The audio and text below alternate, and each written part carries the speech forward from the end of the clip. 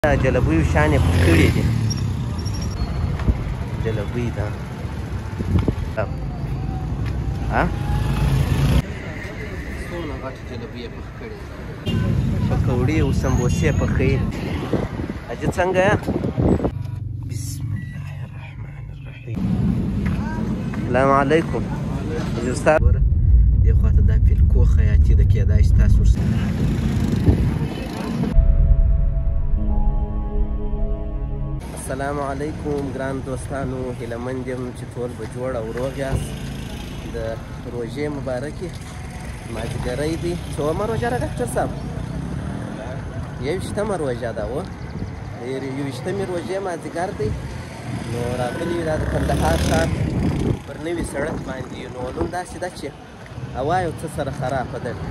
دوړې زیاتې دي نو په کوم نیت چې موږ راوتلي یو هغه نیت یې خوند ونه کوي نو که راسي دا د مازدګري د روژه ماتي ټیم در باندې ووینم د کندهار ښار دا نوی سړک دا دا او دوړي دي دا جلبوي شانې پکړي دي او مخ ته بولاړ څه داسې یو څه جلبوي دي نن بیا دوړي دي ها وا وا نو دې خوا ته دا وګورئ بس تاسو ګرځئ تاسو ما ځي دا سره ګورئ زه به ګرځم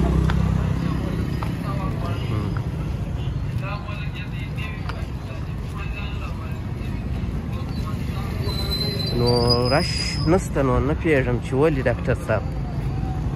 ها نا وخت دی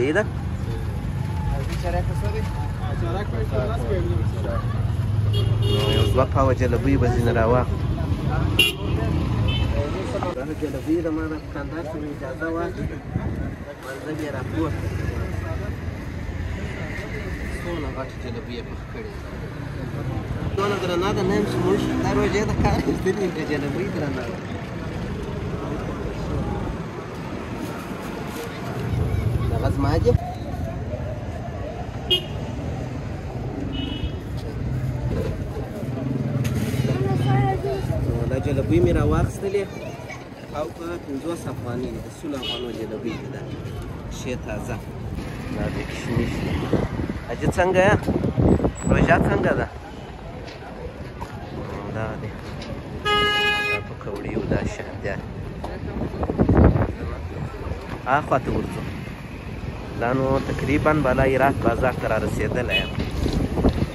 ډېرې دوړې دي بیخي راسي دا په کوړو والا ته وسمه کوړو والا ته زور ځمه لا دې ماشاءالله السلام علیکم استاد شه په خیر یې جوړ یې روژه څنګه ده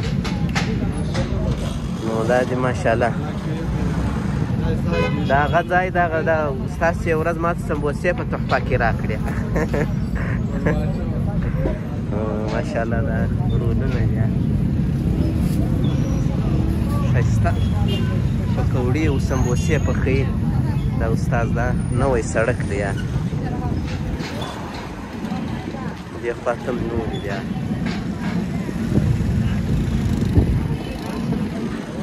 نو زه نن په ډېره خراب هوا کې دلته رالم نو داسې رش کم دی که نه چې هوا سمه وای دا ځای کې بیخي دا د روژه ماتې پر ټیم لار نه کېږي مګر نن چې دي دوړي دي دوړي ترکاریان خو نو اوس به لا خلکو وختي سودا کوي موږ غوښتله چې دا د روژه ماتې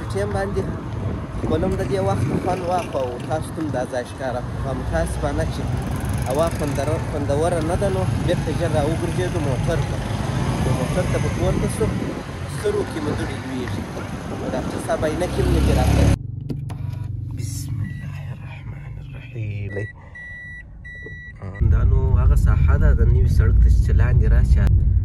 نو دلته بیا بس دا بوټونه چمپلان کالي دا ځای نو وروسته بعد له روژه ماته رش پیدا کوي ځکه چې ګوره دې خواته دا فلکو خیاطي ده کېدای شي تاسو ورسره اشنا یاست الوکو سینټر سته نور ډېر شان سته دلته چې نو دا ځای خو نو بیا اختر په شپو کې بیا زیات رش پیدا کوي اوس هم مخزن مخزن په پکې راشي او دا لاره بیا چې دا وتلې ده زما په فکر بچا خان جادې ته بس دا و دا ده کندهار ښار د نوي سړک د روژه ماتې د ټیم یو بلاک چې درته چمتو مو کړی او جلبۍ مو هم رانیولې او دا ساحه مو در باندې ولیدله نو خوندور بلاک کېدای شي راغلی نه وي ولې چې دوړې وې ما ته خپله یې داسې خوند نه راکوی زه خپله نه وم تشویق نو بس تاسو ته ښه روژه مات غواړم نو تر بیا د خدای په امان ښه وخت بای بای